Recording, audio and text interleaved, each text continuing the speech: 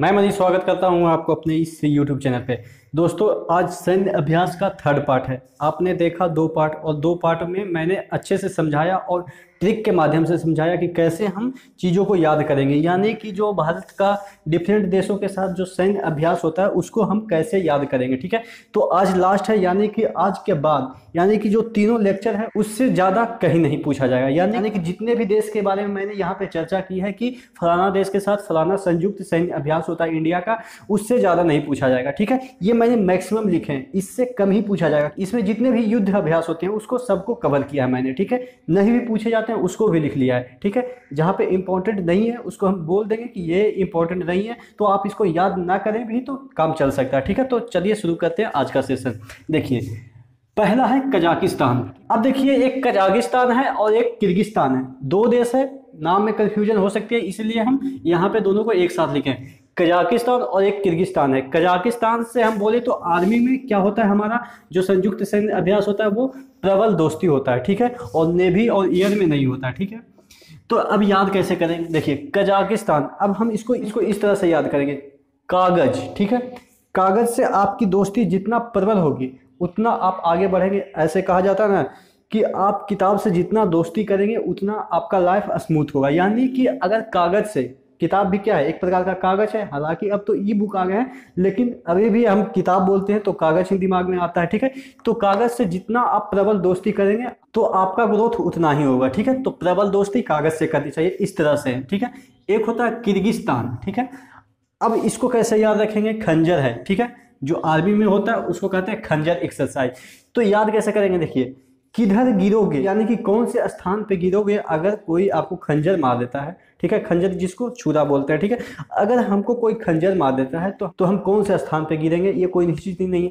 आपने मूवी में देखा होगा जब विलन हीरो को खंजर मार देता है या हीरो विलन को खंजर मार देता है तो वो इस तरह से टगमग करते हुए कहीं भी जाके गिर जाता है ठीक है? तो किस स्थान पे? किर्गिस्तान मतलब किधर गिरोगे, कौन सा स्थान पे गिरोगे? खंजर अगर कोई मार दिया तो। इस तरह से हम इसको याद करेंगे, ठीक है? मंगोलिया के साथ। मंगोलिया के साथ हमारा दो बायोलेटर, आर्मी में एक्सरसाइज होता है। एक होता है नोमेडिक एलिफेंट और दूसरा होता है खान क्वेस्ट, ठीक है? खान। के एच ए तो दो होते हैं, इसको कैसे याद रखेंगे? नोमेडिक एलिफेंट आपको एक यहाँ पे मीनिंग याद करवा रहे हैं, ठीक है? नोमेडिक मतलब होता है खाना बदोश, ठीक है? जब भी आपसे एसएससी में पूछा जाए, ठीक है? एसएससी में तो पूछा ही जाता है मीनिंग पे संबंधित कुछ प्रश्न। तो नोमेडिक मतलब होता है खाना बदोश, ठीक है? खाना बदोश होता है, ठीक है? नोमेडिक तो यानी कि खाना बदोश एलिफेंट मतलब हाथी, ठीक है?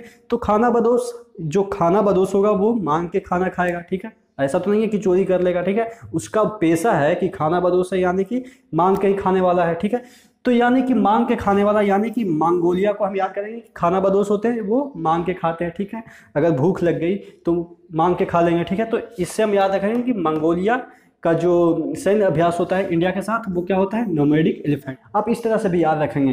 गाँव में अक्सर क्या होता है कि महावत आते हैं, हाथी लेके और लोगों से मांगते हैं, ठीक है? कुछ पैसे मांगते हैं तो वो मांगते हैं किस लिए? खाने खाने के लिए मांगते हैं, ठीक है? तो यहाँ पे भी याद हो जाएगा खाना खाने के लिए, यानी कि खान क्युष्ट क्युष्ट मतलब क्या होता है? सर्च, यानी कि क्युष्ट मतलब खोजना होता है, ठीक है? मतलब कि खाना खोजने के चक्कर में ये इधर उधर भटकते रहते हैं, मांगने के चक्कर में। इस तरह से हम इसको रिलेट करेंगे दोनों को। नोमेडिक मतलब खाना बदोश ठीक है? इस तरह से। अब देखते हैं नेपाल के साथ। नेपाल के साथ सूर्य किरण देखिए, नेपाल एक हिंदू राष्ट्र है और भारत भी आप कह सकते हैं, हालाँकि धर्मनिरपेक्ष राष्ट्र है, लेकिन ज़्यादातर यहाँ पे हिंदू रहते हैं।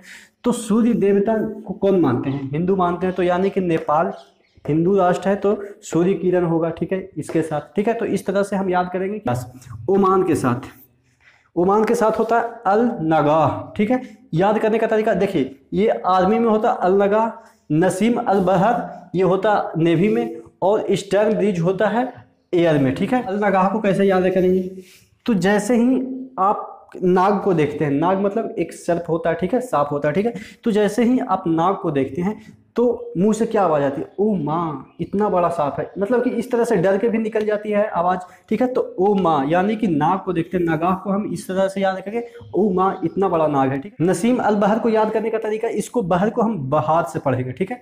बहर को हम बहार करेंगे। तो जहाँ भी बाहर का सिचुएशन आती है, यानी कि बाहर मतलब कि एकदम से ब्यूटीफुल सिचुएशन ठीक है?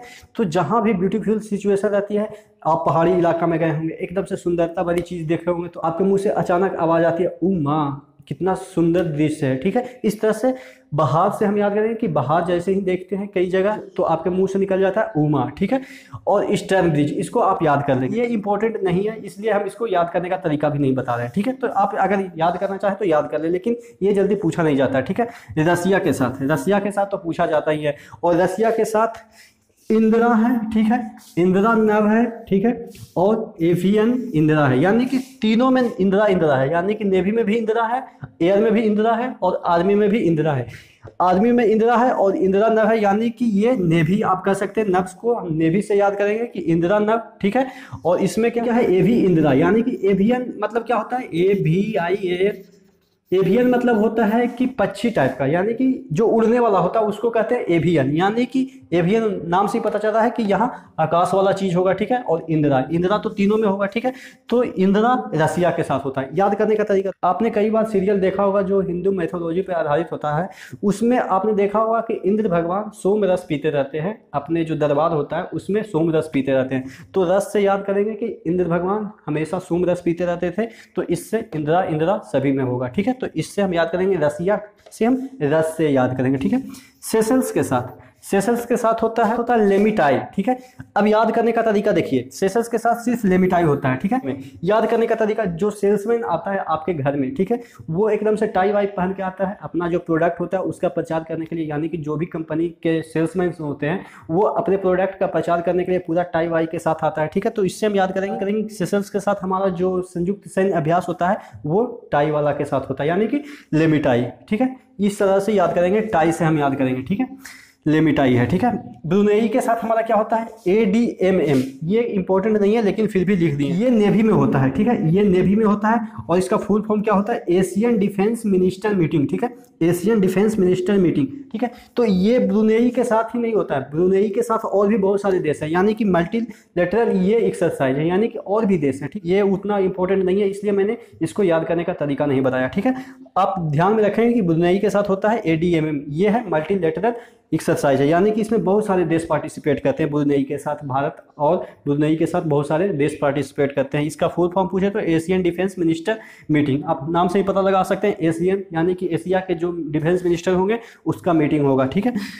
मलेशिया के साथ। मलेशिया के साथ भी हमारा इंपॉर्टेंट कुछ नहीं है। है एक ए आर एफ़ है, ठीक है? A R F D I R exercise यानी कि इसका मतलब Asian regional forum disaster relief exercise ये भी मल्टीलेटरल है। Asian regional forum disaster relief exercise ये क्या है कि ये डिजास्टर में काम आता है। यानी कि ये एक्सरसाइज किस लिए किया जाता है कि ताकि डिजास्टर में लड़ सके आसानी से, ठीक है? तो ये भी मल्टीलेटरल है, ठीक है? बहुत सारे देश मिलकर ये एक्सरसाइज करते हैं। ये भी इंपॉर्टेंट नहीं है। जो बाईलेटरल होता है ना, वही काफ़ी इंपॉर्टेंट होता है। और जो मल्टीलेटरल होता है, उसमें सिर्फ़ मालाबार होता है इंपॉर्टेंट और एक रिम्पैक होता है, ठीक है? दोनों मैंने पढ़ाए हैं, ठीक? म्यांमार म्यांमार को आप आसानी से याद कर लेंगे।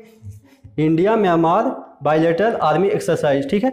ये है आई एम बी एक्स ठीक है? इसके साथ होता है म्यांमार के साथ। अब एक और लास्ट में देख लेते हैं। मालदीव के साथ, ठीक है? यहाँ पे मैंने शॉर्ट में लिखा है मालदीव के साथ हमारा आर्मी में एक्सरसाइज होता है। वो क्या होता है? इक्विबियन ठीक है? इक्विबियन अब याद करने का तरीका देखिए। हमारे हिंदू मैथोलॉजी में क्या होता है? जो कुबेर होते हैं, वो माल के देवता हैं। माल के देवता मतलब कि धन के देवता, ठीक है? माल मतलब वही हम समझते हैं कि जो धन होता है, उसी को अपन माल बोलते हैं, ठीक है? हालाँकि आप लोग माल का मतलब कुछ और निकालते हैं, वो अलग चीज़ है, ठीक है? तो मालदीव मालदीव के साथ हमारा जो संयुक्त सैन्य अभ्यास होता है, वो आर्मी में होता है उसको कहते हैं इक्वेरियन ठीक है? तो कुबेर से हम याद करेंगे कि कुबेर भगवान, माल के देवता है, ठीक है? तो इससे हम याद कर लेंगे, ठीक है? तो आज के सेशन को यहीं पे समाप्त करते हैं। आशा करते हैं जितने भी तीन सेशन मैंने दिए हैं, संयुक्त सैन्य अभ्यास के, अगर तीनों आपने देखा होगा तो आपको दोबारा ये चीज़ें याद करने की आवश्यकता नहीं होगी, क्योंकि हर चीज़ों को मैंने कुछ चीज़ें से रिलेट करके समझाया, ताकि आप चीज़ों को आसानी से याद कर लें, ठीक है? तो ठीक है, अगले सेशन में फिर से मिलते हैं। तब तक के लिए धन्यवाद।